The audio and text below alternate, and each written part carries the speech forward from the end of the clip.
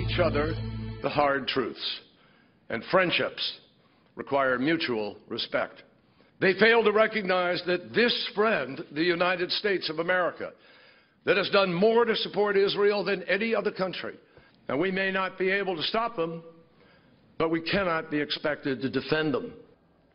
Secretary John Kerry's blistering attack against Israel outraging even some members of his own party, including our next guest, Democratic New York Congressman Eliot Engel. He sits as the ranking member, we should point out, of the House Foreign Affairs Committee. He joins us now to react. Good to see you. We appreciate you coming in. Uh, you know, I've heard Republican critics say that this is going to be sort of the legacy of the Obama foreign policy, to be tougher on your friends like Israel than enemies like Assad and Syria. Well, I think you can say that, unfortunately. I mean, we, we didn't do what we should have been doing in Syria over these past years. But it really, you know, I've just gotten back from Israel. It, it really uh, pains me, and I'm someone who believes in the two-state solution. I think the two-state solution is the only way to get peace. But what Secretary Kerry did was just beat up on Israel in a disproportionate way, sort of gloss over the, the terrorism that the Palestinians have used throughout these years, neglects the fact that Israel picked up and left Gaza, left all the settlements there. Did they get peace in return for it? No, they got the terrorism. And uh, it's just ridiculous to, to, to put the blame on the only democracy in the Middle East. So you're a senior Democrat. Help us understand what could possibly motivate President Obama and Secretary Kerry to, as you say, beat up on Israel? Well, I don't know what the motivations are. I think the timing is curious, the fact that they're leaving office in a few weeks. Um, I, am just, I just feel very badly about it. I'm, I'm very uh, sorry that it happened, and it doesn't mean that, uh, you know, friends can't disagree with friends, and that's, that's true.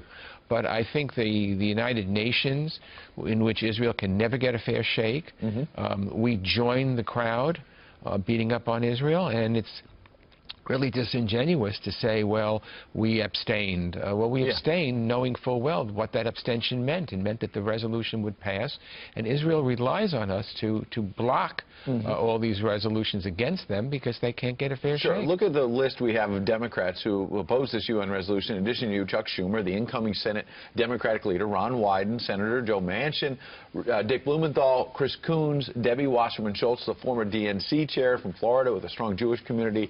Uh, in her district down there in the Sunshine State. And so I wonder, looking forward, can you work with President-elect Trump, who is saying he will be a staunch ally of Israel? Well, I will work with anyone to strengthen the U.S.-Israel relationship. I think that's important.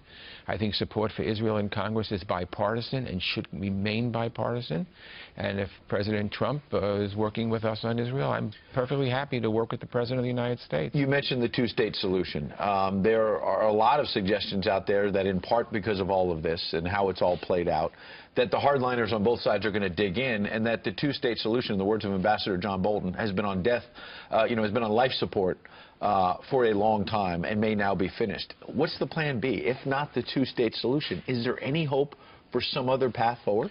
Well, I think Plan B, uh, this is the part of the speech that I agreed with Kerry on. I think Part, part B uh, is a one-state solution, and frankly, I don't think that that benefits Israel in the long run because of the demographics of the mm -hmm. situation.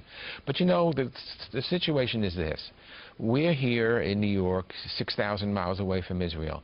It's easy for us to sit and point fingers and say, the Israelis should do this, the Israelis should do that. Mm -hmm. By the way, I didn't hear very much much from uh, John Kerry about what the Palestinians need to do. Right. But it's easy for us to do it. They are uh, living in a very dangerous area with their their. their, their, their derriere on the line. Right, I mean, yeah. I don't know how else to put Diplomatic it. Diplomatic way to put it. Right. And this is a has been a big issue for a long time, and heading into the new year, big challenge for President-elect Trump. We appreciate you coming in with your serious views about all of this. Well, thank you. Thank you, Congressman.